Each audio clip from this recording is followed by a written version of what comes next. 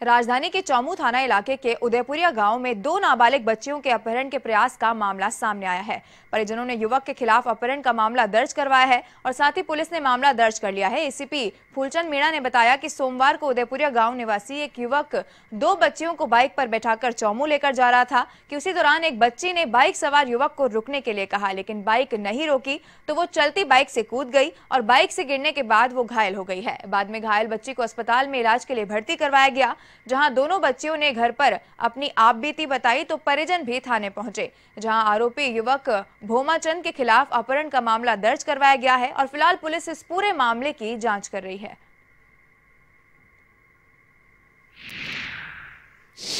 मेरी बच्ची से सर ये बावड़ा बाज़ार लड़ते हैं ना उसके लिए कपड़ा लेने के लिए जा रही थी। तो वो लड़का ये बोला कि मैं ना सोमू जा रहा हूँ सब्ज़ी लेने के लिए बोमा चंद कनवाड़े फिर आगे क्या हुआ? फिर वो ये ना जो बाईपास पे ले गया। और फिर मेरी लड़की ये बोली कि जो जो एक भाई साहब सोमू तो पीछे रह गया आप कहाँ ले जा रहे हो? नहीं गए तो सोमू तो अभी आएगा। हाँ एक एक आगे ले गई एक, एक लड़की तो अभी एक से कूद गई। और छोटे वाली लड़की बैठी थी वो बोली कि मे, मेरे को कहाँ ले जा रहे हो? मेरी बहन तो गिर गई। है? और फिर वो रोके उस, उसको छोड़ गए ना। फरार हो गया।